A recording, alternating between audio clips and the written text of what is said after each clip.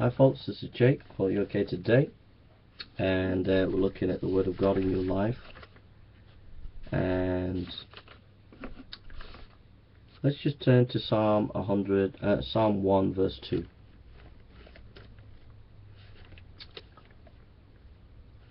Psalm 1, verse 2. We read,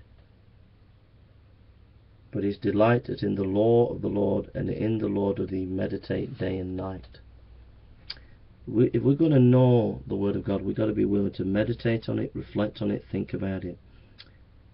It's God's Word, 1 Thessalonians chapter 2, verse 13.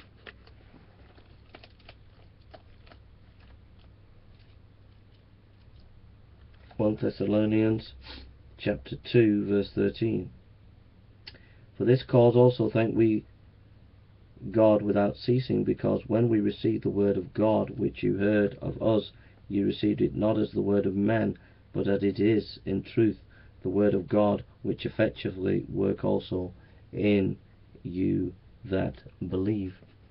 Alright?